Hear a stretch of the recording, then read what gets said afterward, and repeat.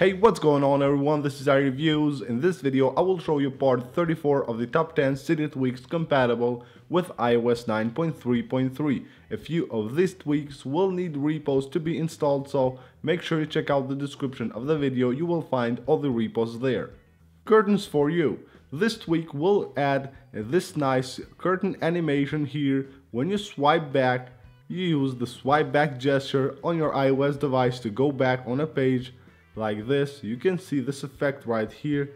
It looks pretty awesome. To install this tweak you will need to add a repo which you will find in the description of the video. GIF lock. This tweak allows us to set GIFs as the background of your lock screen. So to do that you need to jump to the settings of this tweak, enable it right here. You can stretch the image here to fit the lock screen or you can set a different color for the background of the GIF and you go here to choose GIF, it will send you to your photo library and you can pick any GIF you want and set it as the wallpaper of your device. Musical keyboard. It's a lot of fun typing on your keyboard with this tweak, it's just like playing a piano. So you can hear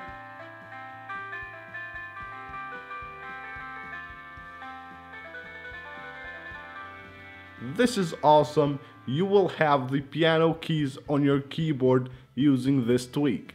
Slide cut. This tweak allows to quickly cut, paste or copy text or you can do other actions as well. You will find a list of the shortcuts on the page of this tweak on Cydia. So if I select the text right here, I can easily cut it simply by swiping here from the spacebar to to the X button and you can see there it will cut the text. I can paste it by swiping from the from the space bar to the V.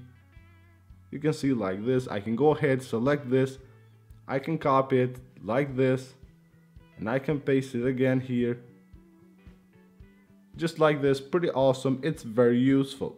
Swipe for night mode. This is a tweak which allows to easily enable night mode on the Twitter app. So all you have to do is just swipe here on the bottom bar, swipe right to enable night mode, swipe left to disable it. Twitter News Enabler. This tweak allows to enable news and also moments on the Twitter app. This is a feature that Twitter has added at the moment just on USA and I think on Japan so if you live outside of these two countries you can also have these features just install this tweak and then go to settings and you can enable here news or you can enable moments and then just click here apply changes.